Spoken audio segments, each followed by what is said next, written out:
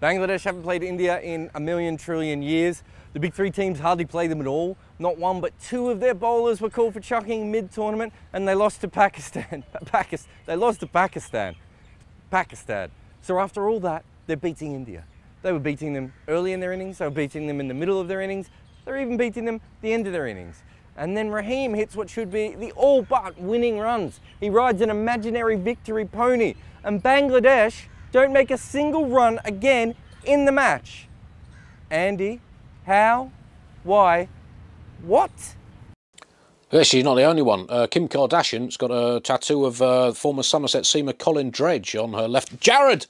Yes, Bangladesh. Yes, they will be disappointed not to have sealed that particular deal. Uh, they went to pieces, unfortunately, like a cheap sandwich in a tumble dryer being pushed over a cliff during a significant asteroid strike. Uh, from the position they were in, they they probably should have won. In fact, them not winning was roughly equivalent to a cyclist in the Tour de France reaching Paris with a solid 25 minute lead over his rivals, about to bomb up the Champs Elysees to take the yellow jersey when he cycles into a taxi, says "Airport, please," and gets a flight to Buenos Aires. You simply have to take those kind of opportunities at this level of cycling. Cricket, cricket at this level of cricket. As for India, well, they often say that a team that can win despite not playing very well must be a good team. I guess another way of looking at that is that a team that can win despite not playing very well might just be playing other teams that also aren't playing very well. I guess we will find out soon, uh, probably on Sunday against Australia. That is when the proof will be eaten in the pudding.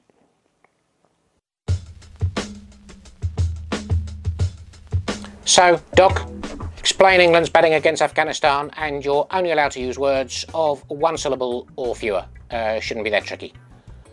I'll pass on that one, thank you, Frederick. Uh, I'll grant you we did rather get away with it. Uh, although, in mitigation, the pitch was completely and utterly unplayable. That wasn't. Good point.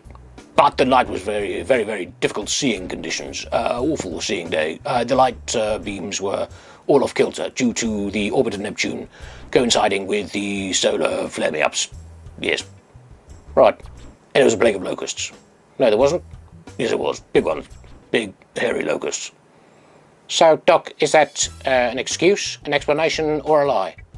Potato, potato, potato.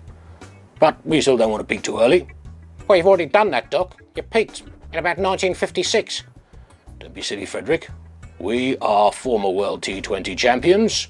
Some nations I could mention can't say that. And we will have our second major international tournament in this life or the next. Here you go, Maximus. Here you go. We've been forced to watch Pakistan, often against their own will. We've been forced to watch their fielders run around the ball, fumble the ball, not be that close to the ball, or just lazily wander in a bit of a haze after the ball. We've been forced to watch Afridi misuse his bowlers, his field, and his batting lineup. And we've been forced to watch Pakistan bat, which I think in some parts of the world may be a war crime. But I think what we really know at the moment is that Pakistan are not playing T20 cricket. So I ask you, Andrew, what were Pakistan playing in this tournament? And should it be banned? Yeah, the real reason uh, Watson's retiring now, what I heard, was uh, he's been headhunted. Uh, new face of L'Oreal. Jarrod! Uh, yes! Good question. What were Pakistan playing? We don't know. We are still waiting for the laboratory tests to come back on that one.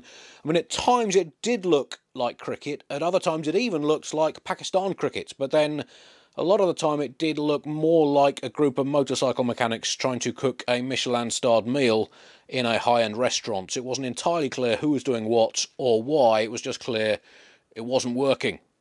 And some other news just coming in. Uh, I'm going on holiday. Uh, I'm going to miss the rest of the tournament. I'd love to tart it up as some kind of uh, protest against uh, the marginalisation of cricket's associate members, uh, but uh, it's just a family holiday. But don't worry, I'll cover it up. No one is going to notice, so uh, you can just leave this. It'll be fine. It'll be fine. So I'll see you in a, in a couple of weeks.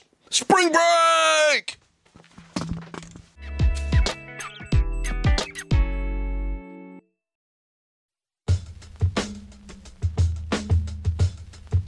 Zaltzman's going on holiday?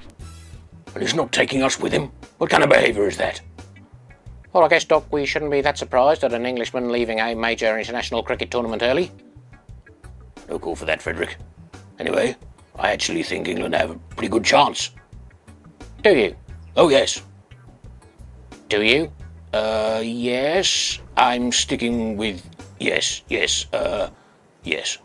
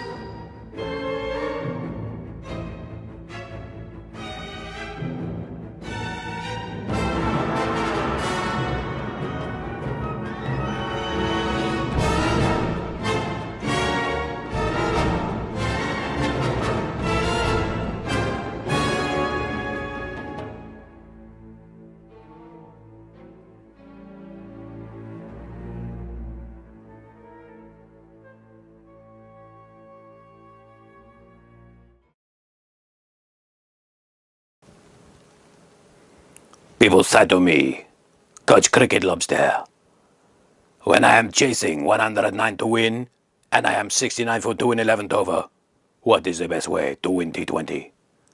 And I said to them, Oh, you must collapse straight away and properly.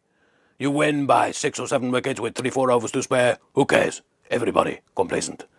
You win by 1 wicket with no overs and no balls to spare. Everybody go crazy. Big boost to team morale. England women, I tip my clothes to you. Strategic perfection.